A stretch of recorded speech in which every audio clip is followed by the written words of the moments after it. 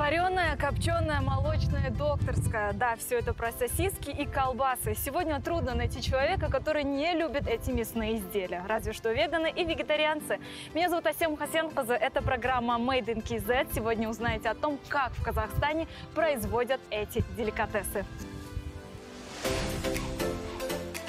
Изготовление колбасных изделий имеет долгую историю, почти две тысячи лет. Но сосиски в том виде, в котором мы их привыкли употреблять, появились пару столетий назад. Их создателем считается мясник Иоганн Ланнер. Ремеслу он обучался во Франкфурте, а первую лавку открыл после переезда в Вену в начале 19 века. И вот эти два города, Вена и Франкфурт, до сих пор спорят, кто же из них достоин гордого звания родины сосисок.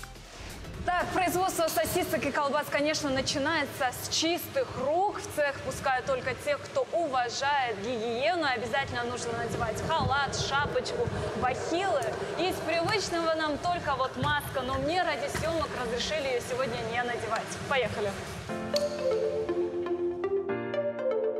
На мясоперерабатывающем заводе должно быть очень холодно. И в Нур-Султане это правило чтут. Температура здесь примерно плюс 4. И такое ощущение, что нас поместили в холодильник. Ну а мясное производство начинается в этом отделении.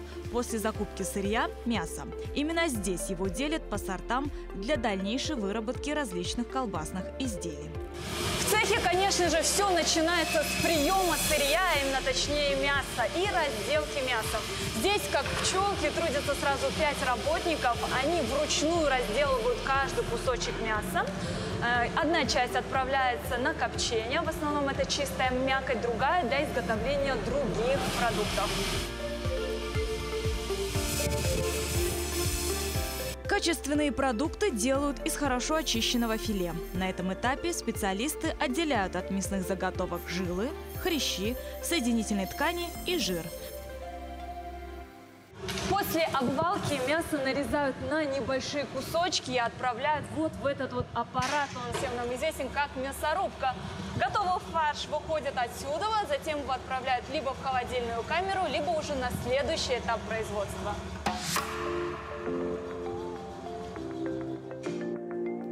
Далее, согласно рецептуре, мясо взвешивают и отправляют на вторичное измельчение в гибрид фаршемешалки и мясорубки. Затем начинается процесс вторичного измельчения фарша. Делает это вот такой вот большой металлический чан-мешалка. Его называют кутер. И также именно на этом этапе работники добавляют в фарш соль, перец, а также другие необходимые ингредиенты и специи. Все, работник это сделает сейчас, крышка чана закроется и кутер начнет свое дело. Согласно рецептуре, в некоторых случаях также добавляют молоко и жир, а также специи. За счет вращения ножей на высокой скорости в течение 10 минут получается необходимая однородная масса. Затем эту пасту отправляют в специальный формовочный цех. Готовый паштет загружают в шприц-дозатор. Один из финальных этапов производства сосисок, а именно формовка. Здесь, как мы видим, процесс полуавтоматизирован, и именно здесь сосиски приобретают тот самый внешний вид, к которому мы так привыкли. Затем будущим сосискам дают отдохнуть как минимум часа два. За это время внутри батончиков идут химические реакции и созревает товарный цвет.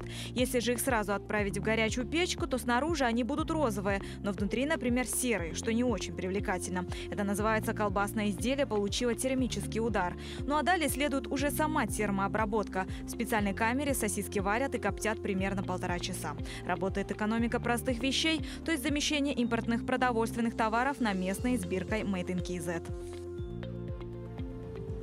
Затем готовые изделия отправляются на полки в магазинах. В зависимости от сорта, колбасы и сосиски нужно хранить в холодильнике около месяца-двух. Вкусно, качественно и ничего лишнего. Вот так производят в Казахстане.